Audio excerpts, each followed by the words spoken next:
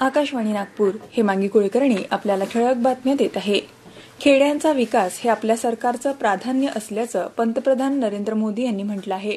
गावांच्या विकासाकरता सुरू झालेल्या विविध योजनांमुळे अनेक सुविधा आता गावोगावी पोहोचत आहे.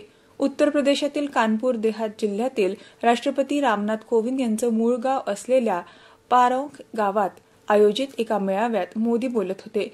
राष्ट्रपती कालपासून चार दिवसांच्या उत्तर प्रदेश दौऱ्यावर असून दौऱ्याच्या पहिल्या दिवशी त्यांनी त्यांच्या मूळ गावाला भेट दिली. राज्यसभेच्या महाराष्ट्रातल्या सहा जागांसाठी येत्या दहा जून रोजी होणाऱ्या निवडणुकीकरता सात उमेदवार रिंगणात आहे. या निवडणुकीसाठी उमेदवारी अर्ज मागे घेण्याचा काल शेवटचा दिवस होता. आता सहा जागांसाठी भाजपाचे तीन शिवसेनेचे दोन तर काँग्रेस आणि राष्ट्रवादी काँग्रेसचा प्रत्येकी एक असे सात उमेदवार निवडणूक लढवत आहे. भारतीय जनता पक्ष सहावी जागा लढवण्याबाबत ठाम असल्याचं प्रदेशाध्यक्ष चंद्रकांत पाटील यांनी सांगितलं. ही निवडणूक बिनविरोध व्हावी यासाठी काल सकाळी सत्ताधारी महाविकास आघाडीच्या नेत्यांनी विधानसभेतले विरोधी पक्षनेते देवेंद्र फडणवीस यांची भेट घेतली.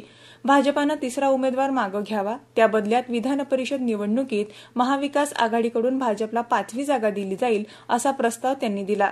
मात्र भाजपाला हा प्रस्ताव मान्य नसल्याचं पाटील यांनी सांगितलं. भाजपा हा राष्ट्रीय पक्ष असल्यानं राज्यसभेची जागा आमच्यासाठी महत्वाची असल्याचं पाटील म्हणाले. दरम्यान पंधरा राज्यातल्या सत्तावन्न जागांसाठी होत असलेल्या या निवडणुकीपैकी भाजपाच्या चौदा काँग्रेसच्या चार उमेदवारांसह एक्केचाळीस जणांनी बिनविरोध निवड निश्चित झाली आहे. राष्ट्रीय स्वयंसेवक संघाचे माजी विभाग संघचालक आणि चंद्रपूरमधील प्रसिद्ध डॉक्टर सच्चिदानंद सामशिव मुनगंटीवार यांचं काल नागपूरच्या खासगी रुग्णालयात निधन झालं. ते एक्क्याण्णव वर्षांचे होते. राष्ट्रीय स्वयंसेवक संघाचे विभाग संघचालक लोकमान्य टिळक स्मारक मंडळाचे अध्यक्ष चिन्मय मिशनचे अध्यक्ष डॉक्टर हेडगेवार जन्मशताब्दी सेवा समितीचे अध्यक्ष अशा विविध जबाबदाऱ्या त्यांनी समर्थपणे सांभाळल्या. एकोणीसशे सदुसष्टमध्ये त्यांनी भारतीय जनसंघतर्फे चंद्रपूर विधानसभेची निवडणूक देखील लढवली होती. माजी अर्थमंत्री सुधीर मुनगंटीवार हे त्यांचे ज्येष्ठ पुत्र आहेत. आज संध्याकाळी चंद्रपूर इथं त्यांच्या पार्थिवावर अंत्यसंस्कार करण्यात येणार आहे.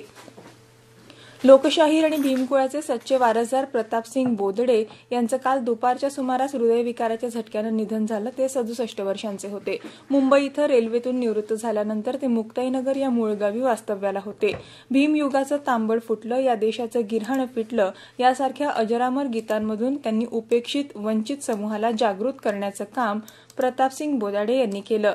त्यांच्या आजवर त्यांच्यावर आज सकाळी त्यांच्या राहत्या गावी मुक्ताईनगर इथं अंत्यसंस्कार करण्यात आले.